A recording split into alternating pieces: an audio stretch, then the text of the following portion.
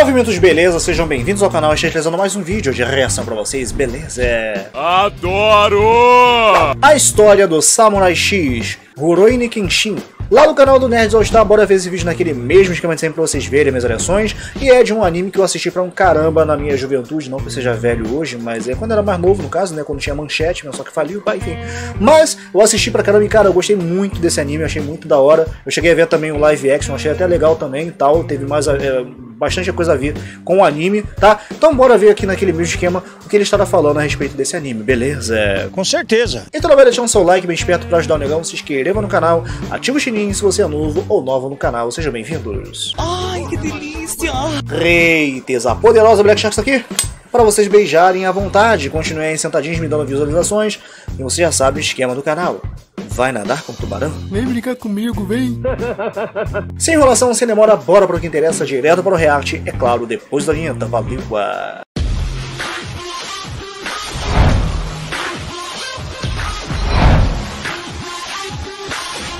Alexandre na área.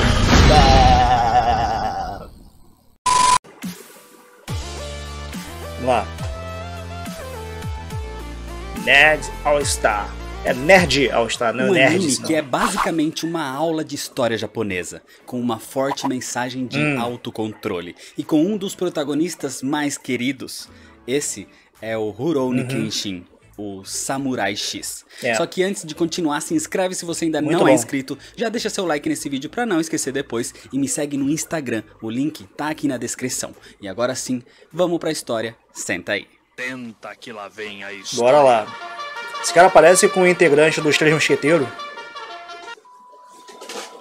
Rurouni Kenshin, ou Rurouni Kenshin, fale como você achar melhor, é um mangá criado por hum, Nobuhiro Kenshin. em 1994 ah. e que recebeu um anime com 95 episódios em 1996, rebatizado no ocidente como Samurai X. Hum. A história mostrava os primeiros anos da era Meiji no Japão, mais precisamente em 1878, hum. onde conhecemos Kenshin Himura, um aparente pacífico espadachim que prometeu hum. nunca mais matar. Onde, com uma espada de lâmina invertida, incapaz de ferir mortalmente, ele só deseja ajudar os necessitados. Mas a história em si uhum. não começa aí. Na verdade, 14 anos antes, em Kyoto, viveu um samurai que foi batizado de Batosai, o Retalhador. Era o espadachim uhum. mais habilidoso e retalhava seus inimigos, deixando uma cena de carnificina por onde passava.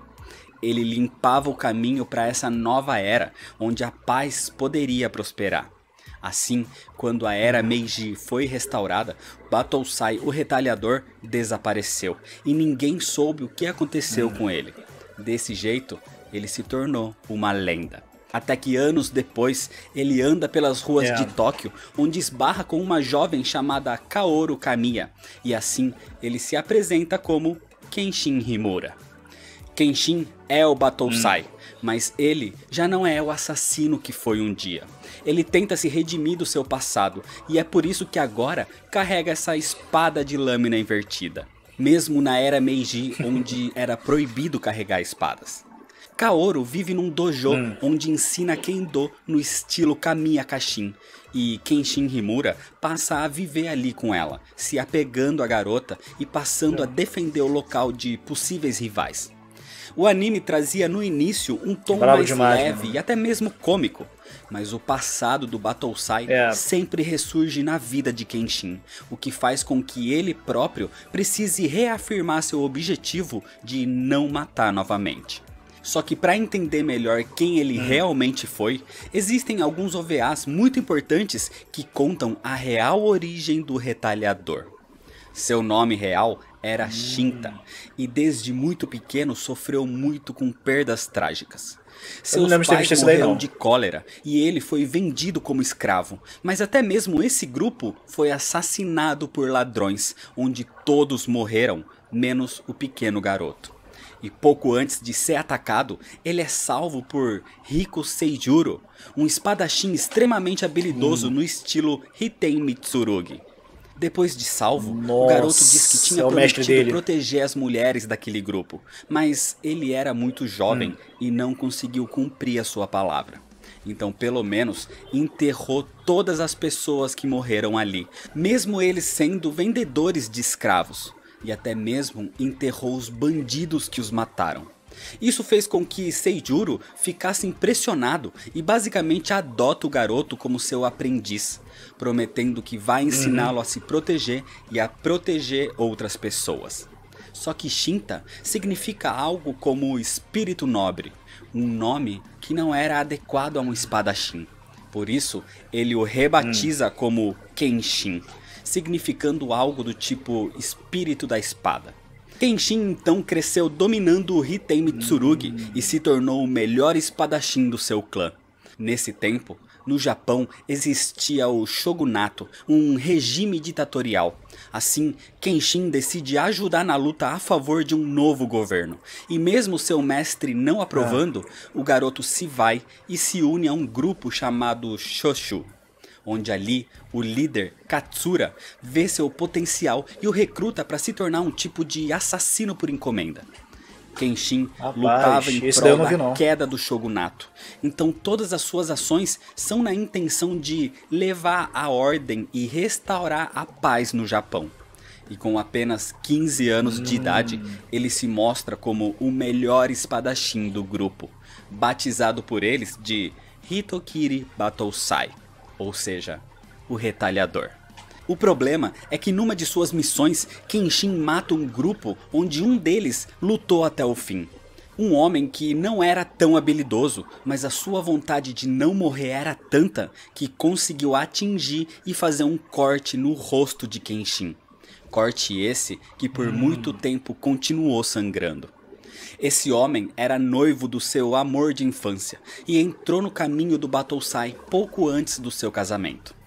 Algum tempo depois, Kenshin foi atacado por um assassino encomendado e na noite, durante uma chuva, ele acaba com seu inimigo. Mas esse ato é visto por uma Uau. mulher muito bonita, uma mulher que cheirava a ameixa branca. Então ela percebe que aquele é o retaliador das lendas, o homem que realmente fazia chover sangue. A garota desmaia e Kenshin a leva até a estalagem que ele estava com o resto do clã Shoshu. E sem saber se deveria matá-la por ter visto que ele era o Batosai, Kenshin acaba deixando a garota ali. Essa é Aham. Tomoe Yukishiro, que diz ser um gato sem dono, então decide trabalhar e viver ali na estalagem. Só que durante um ataque ao clã Shoshu, é entendido que existe um traidor entre eles e muitos morrem nesse conflito. Mas Kenshin e Tomoe conseguem escapar e por ser uma peça-chave na revolução, Kenshin é enviado para uma cidade afastada junto de Tomoe, onde viveriam escondidos num tipo de fazenda, se passando por marido e mulher. Um homem que andava sempre com Kenshin limpando as cenas de retaliação do Battlesai ficou responsável em mandar mantimentos e informações a ele. Seu nome era Izuka. E ali, Kenshin e Tomoe Caraca, viveram por cinco meses, onde aos poucos eles foram se aproximando e eventualmente se apaixonando. Kenshin foi se abrindo e mostrando que era uma boa pessoa. Ele não matava por gosto, ele realmente queria buscar a paz. Então, quando isso fosse alcançado, ele aposentaria sua espada e viveria com Tomoe, quem lhe ensinou a ser realmente feliz. O problema acontece o dia em que um garoto surge ali. Aquele era Enishi Yukishiro, o irmão de Tomoe. E nesse momento entendemos tudo o que está acontecendo. Tomoe era noiva daquele homem que lutou até o fim e deixou a marca no rosto de Kenshin. Tomoe Cara, sabia que foi o retalhador que o matou e foi até Kyoto para tentar se vingar. Inclusive por isso que ela sempre carregava uma adaga deixada pela família do seu noivo. Só que ela também tinha se apaixonado por Kenshin, quem ela própria diz que esse é o seu segundo amor. Enishi diz que tá tudo pronto para acabar com ele, mas Tomoe não quer mais fazer isso. Só que num dia, Kenshin acorda e não a encontra. Então Izuka aparece e diz que descobriram que o traidor do clã era a Tomoe. Tanto que ao ler o diário da garota, ele descobre sobre a história do seu noivo. O que Kenshin não sabia é que Izuka estava mentindo. Tomoe tinha ido até a cabana de Tatsumi, o líder do grupo enviado para acabar com Kenshin, para evitar que eles continuassem com o plano. Mas acontece que ele usou Tomoe para isso, porque eles queriam descobrir a fraqueza do Battlesai para atacá-lo. E a intenção de Tatsumi Caramba, era que mano. Kenshin realmente se apaixonasse por ela, e assim ele teria agora a sua maior fraqueza, a própria Tomoe. Então, quando Kenshin parte para confrontá-lo, ele passa por diversas batalhas sangrentas, até que fica frente a frente com hum. Tatsumi, que possui a adaga de Tomoe. Uma batalha entre os dois é iniciada, mas com Kenshin totalmente traumatizado por agora saber de tudo que aconteceu. Por ter se aberto para alguém que no fundo estava ali para tentar matá-lo. Por inclusive acreditar que ela era a traidora ainda. Então, no último golpe, Kenshin coloca todas as suas forças na sua espada e atinge Tatsumi. Mas Tomoe surgiu ali na frente, tentando segurar o golpe do vilão. Talvez sabendo o que aconteceria, mas buscando se redimir pelas suas ações. Ela se sentiu culpada Caraca. pela morte do seu noivo e não queria mais se sentir culpada pela morte do seu segundo amor. Assim, ela é atingida também Uau. pela espada de Kenshin. Desse jeito, Tatsumi é derrotado, mas Tomoe também foi atingida. E nos braços de Kenshin, ela diz que o ama, e usando a sua adaga que estava destinada a atirar o seu sangue, ela faz um novo corte no rosto dele, deixando a ferida agora em formato de um X.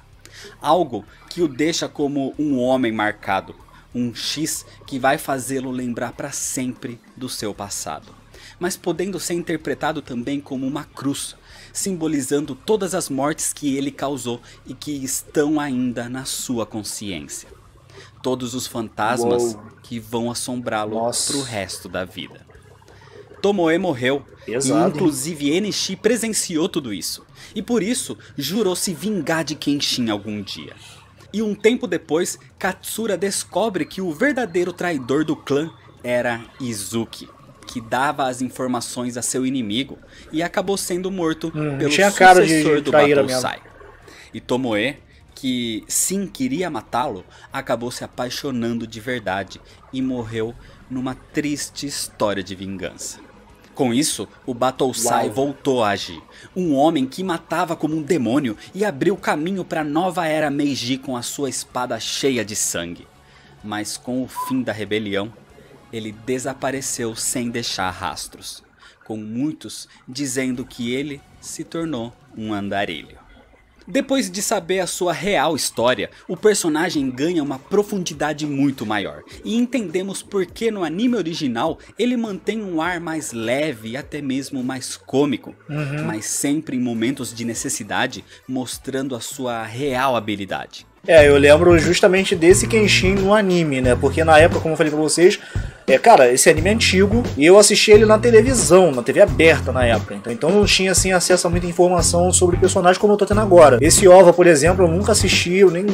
Assim, eu deveria imaginar que tem, porque todo anime, geralmente, a maior parte dos animes que existem tem um OVA, alguma coisa assim mais profunda sobre o personagem em questão. Eu não sabia desse OVA, foi muito interessante esse OVA aqui, tô até pensando de repente assistir. Eu gosto muito desse anime, embora tenha muita coisa que eu não vá lembrar, talvez, que ele vai falar. Mas, mano, é, é o Kenshin que eu lembro. O cara era gente boa, era o, o cara que ele até fugia de briga, se fosse o caso, entendeu? Tem uma parte também que eu lembro que ele se desviava de alguns golpes, eu não lembro agora de quem, mano. Eu acho que ele foi, foi até uma menina aí, desdenhada, por assim dizer, porque ela era muito nova também. Ela é, sei lá, ela era meio misteriosa, mas aí descobrindo que era só uma garota e tal. E ela foi pra cima dele, assim, ela, ela era habilidosa, mas ele não fez nada contra ela, ele só desviava dos golpes dela, tá ligado? Então, assim, eu achava até maneiro essa parte quando mostrava ele. Agora também quando via as partes sérias, quando ele tinha que mesmo fazer mesmo a diferença para poder proteger as pessoas que ele amava, mano, eu falava, cara, que mudança, cara. Que mudança de caráter que cara teve que ter.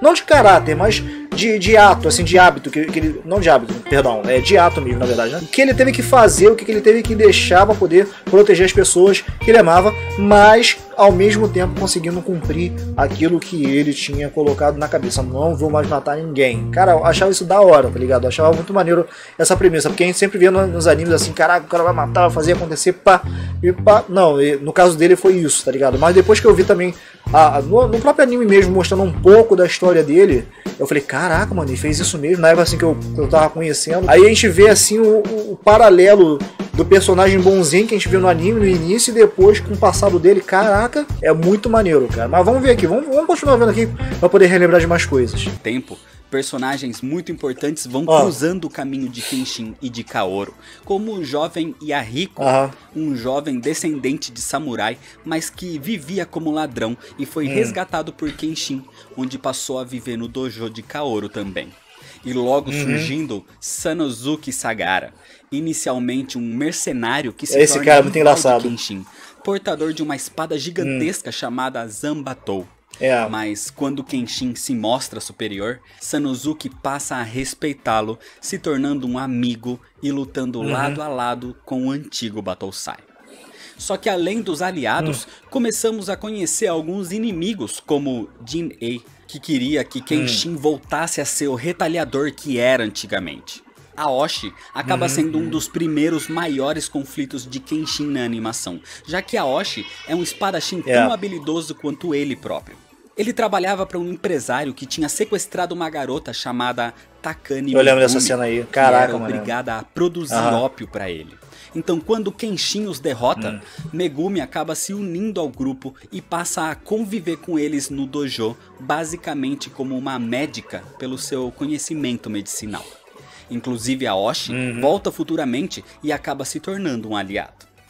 Hajime Saito é, é um rival de longa data é brabo, do Battlesai, que acaba sendo uma Esse daí também é brabo demais, também, esse cara. Porque a sua intenção em encontrar uhum. Kenshin era na verdade para que ele enfrentasse um inimigo muito maior. O que leva ao grande uhum. ápice contra Makoto Shishio uma espécie de sucessor do retalhador. É chato pra caraca. É chato no bom sentido, tá, gente? Né? Que essa, essa parte eu achei maravilhosa, cara. Essa parte aí do anime, mano muito bem desenvolvida, cara. Meu Deus do céu. E esse personagem aí, porra, o cara é sinistro, mano, na moral. Atos em nome do ah. próprio regime Meiji.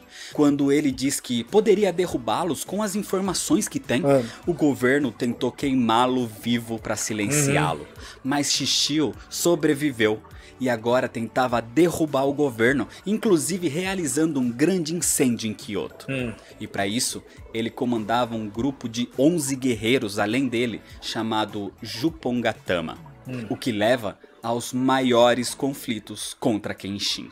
Inclusive aqui, o tom do anime muda. Muda pra caraca. algo muito mais dramático uhum. e deixando explícito o perigo que Shishio realmente Verdade. é e para mim, pelo menos, sendo a melhor parte do anime. Hum. Vários outros conflitos existiram, mas esses talvez sejam os principais. Melhor arco. E depois da saga de Kyoto com Shishio como inimigo, a animação alcançou o mangá e por isso episódios fillers começaram a ser criados. Uhum inclusive com o final do mangá retomando Enishi Yukishiro, o irmão de Tomoe, querendo vingança de Kenshin que acabou sendo ignorado pelo anime e foi levemente apresentado num OVA separado. Hum, Inclusive, algumas outras animações nesse formato foram feitas, até mesmo mostrando um certo final trágico para Kenshin e mostrando também um filho dele com Kaoru. Mas esse final não é considerado oficial, não é canônico, já que atualmente vem sendo desenvolvido um novo arco das histórias de Rurouni Kenshin nos mangás, um arco batizado de Hokkaido. Mas independente disso, a história da série principal sempre foi muito boa, uhum. e com interpretações mais profundas do que só lutas de espada. Mesmo amigos ou inimigos, Cada personagem tinha uma história única. Hum. Cada um deles tinha que conviver com algum tipo de trauma do passado, Hum. mostrando que eles não eram heróis ou vilões. Eles eram apenas pessoas que sofreram algo muito grave e escolheram o lado em que iriam andar na vida Profundo. sempre trazendo mais do que combates, sempre com reflexões e moralidades sendo colocados à prova. Nossa. O anime trazia desenhos limpos, claros, coloridos, com um tom cômico, mas com ótimas cenas de luta.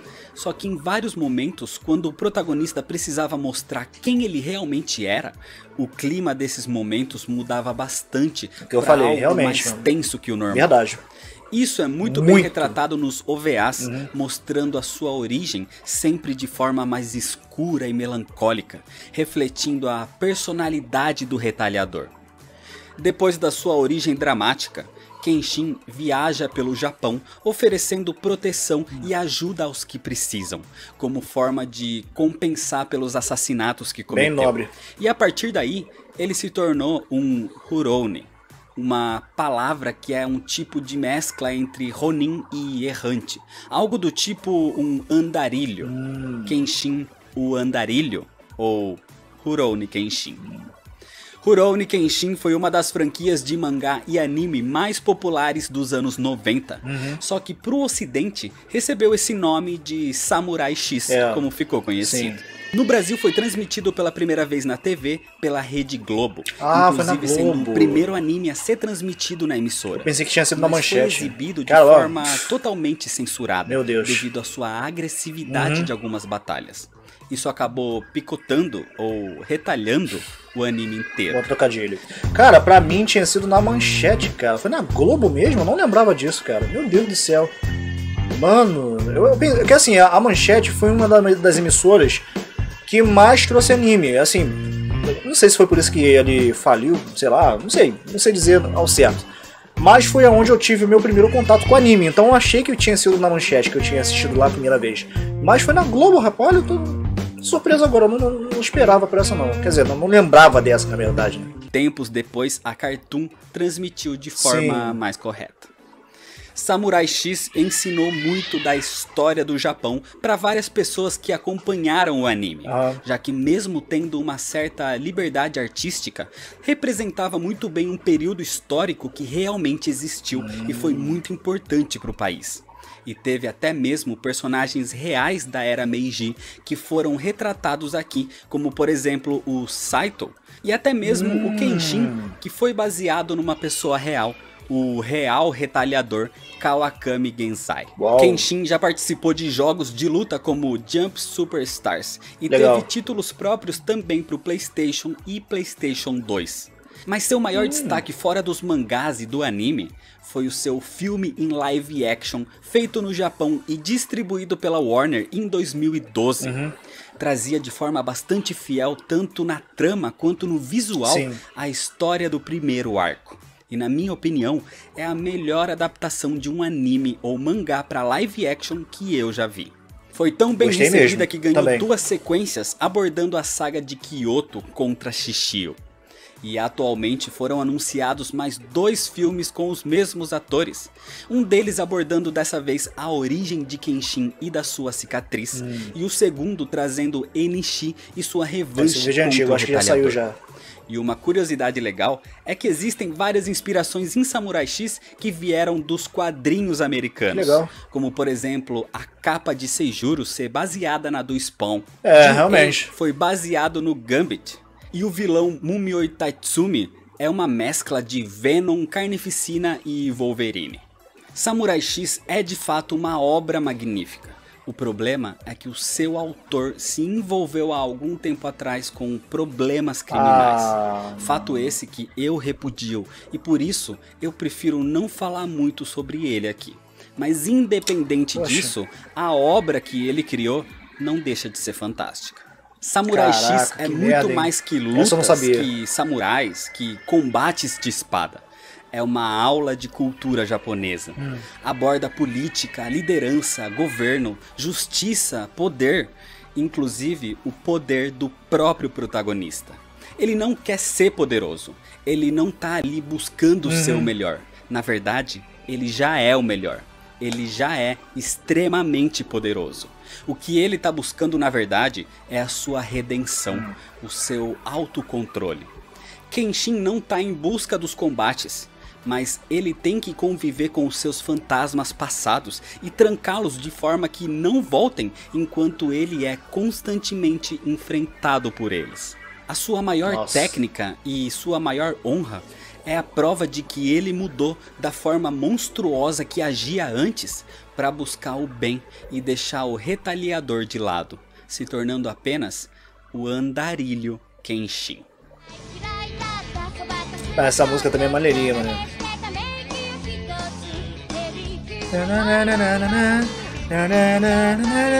Não sei cantar em japonês, mas eu tô... Então é isso. Se você ainda não é inscrito, se inscreve no canal, deixa seu like se você gostou e comenta se você já conhecia e se você já assistiu Samurai X.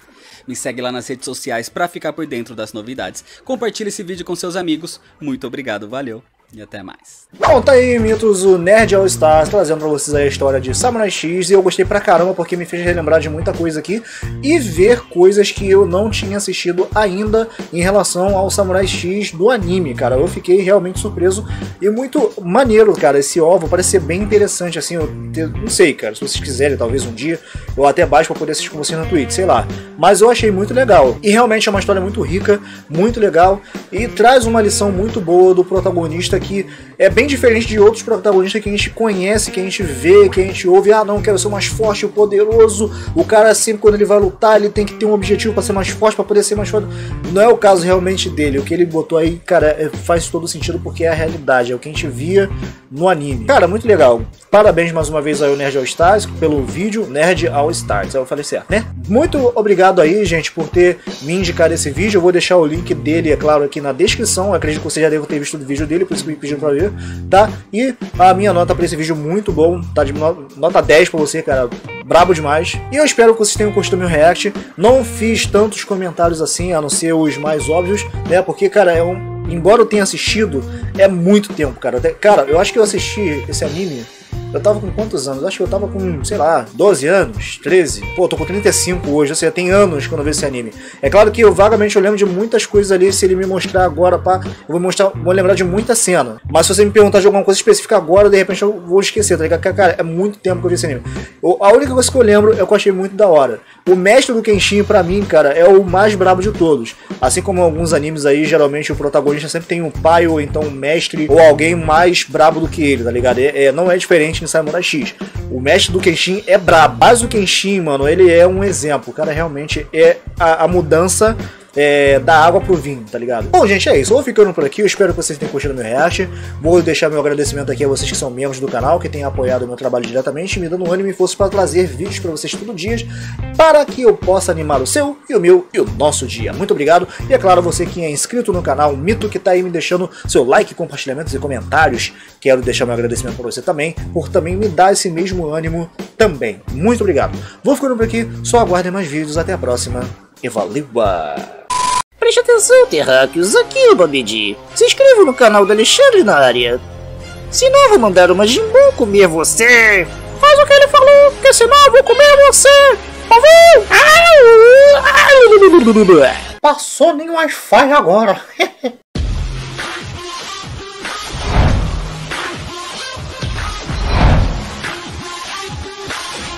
Alexandre na área.